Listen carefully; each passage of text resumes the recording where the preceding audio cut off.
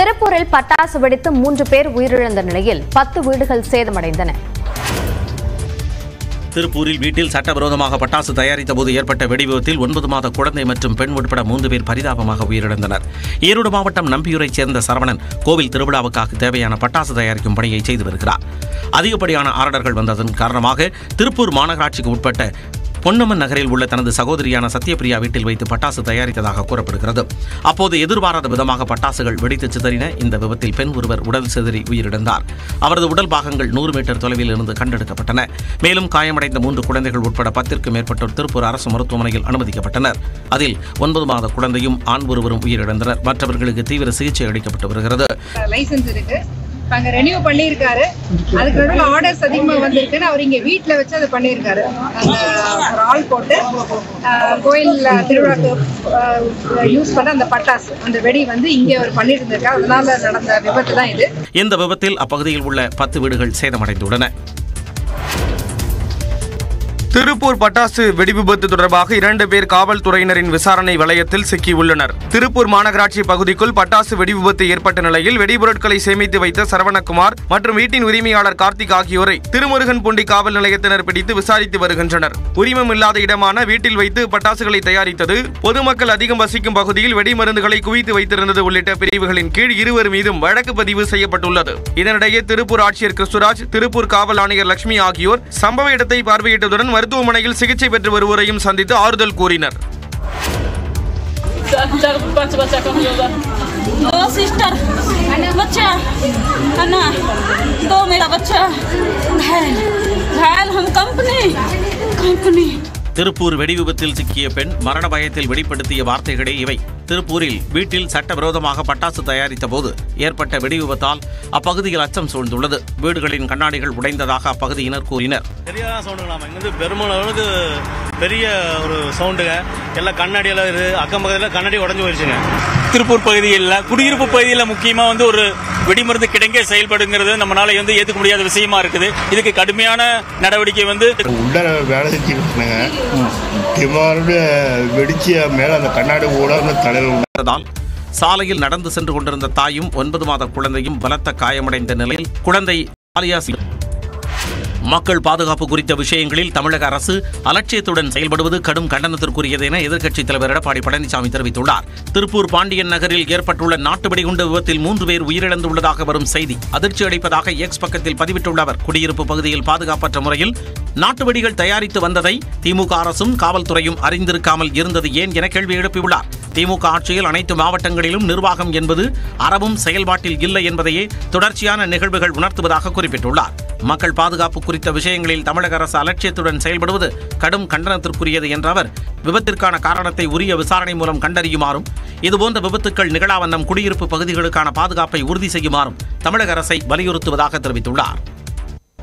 அதிமுகவில் பொறுப்பு பறிக்கப்பட்ட தளவாய் சுந்தரம் ஆர்எஸ்எஸ்ஸில் இணைய பாஜகவின் ஹெச் ராஜா அழைப்பு விடுத்துள்ளார்.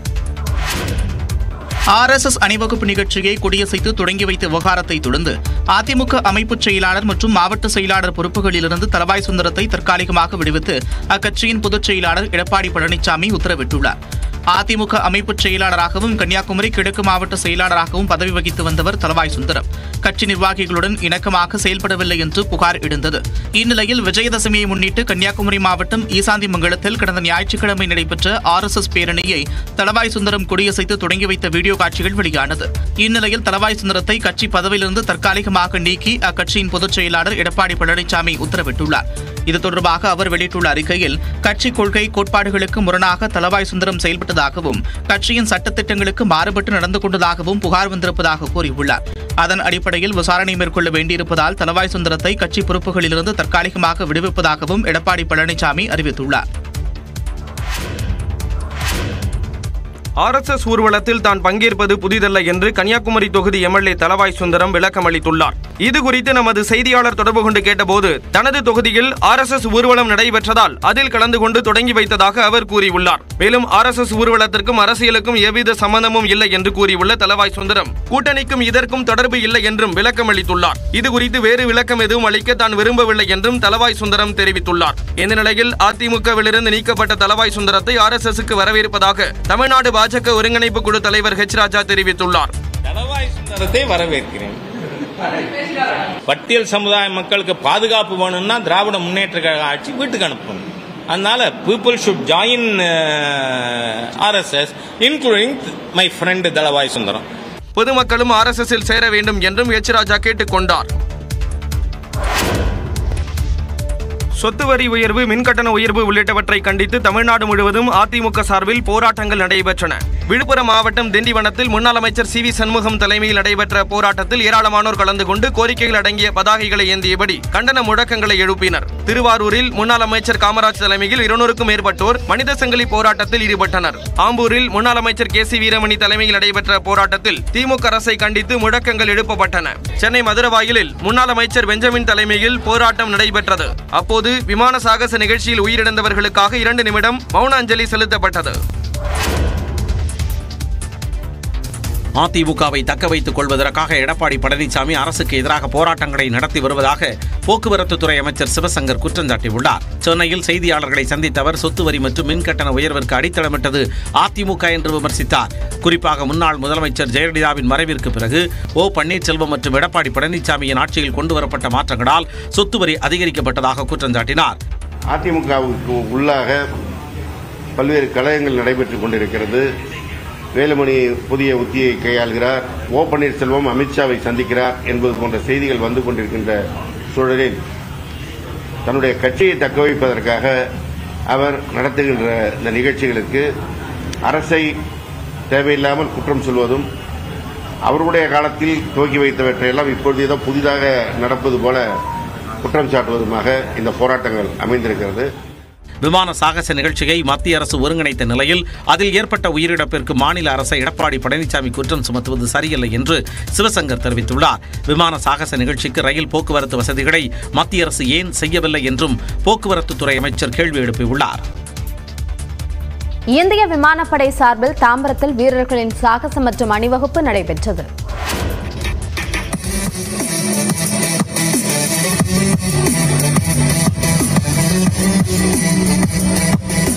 இந்திய விமானப்படையின் தொன்னூற்றி இரண்டாவது ஆண்டு நிறைவை ஒட்டி சென்னை தாம்பரம் விமானப்படை தளத்தில் நடந்த சாகச காட்சிகள் காண்போரை மெய்சிலிருக்க வைத்தன. விழாவை ஒட்டி விமானப்படை வீரர்களின் கண்கவர் அணிவகுப்பு நடைபெற்றது.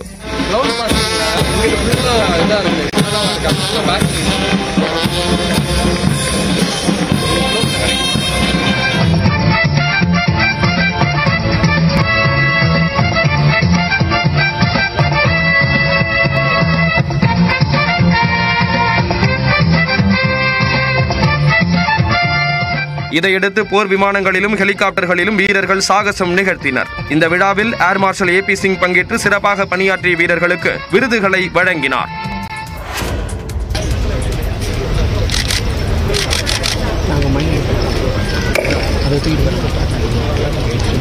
சென்னை தாம்பரம் விமானப்படை தளத்தில் நடந்த அணிவகுப்பில் பங்கேற்ற வீரர்களில் ஐந்து பேர் வெயிலின் தாக்கத்தால் மயங்கி விழுந்தனர். சென்னையில் காலை முதல் வெயில் அதிகமாக இருந்த நிலையில் விமானப்படை தளத்தில் உச்சி வெயிலில் வீரர்கள் அணிவகுப்பு நடத்தினர்.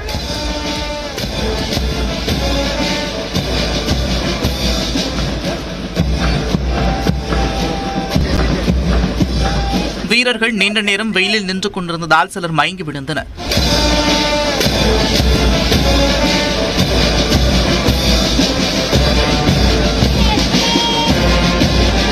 சிலர் சோர்வடைந்து நிற்க முடியாமல் மைதானத்திலேயே அமர்ந்தனர்.